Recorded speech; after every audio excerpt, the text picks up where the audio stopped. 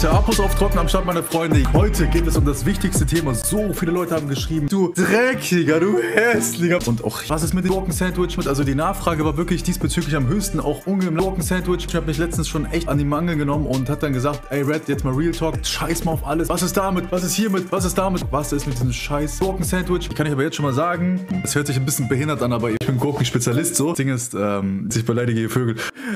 okay.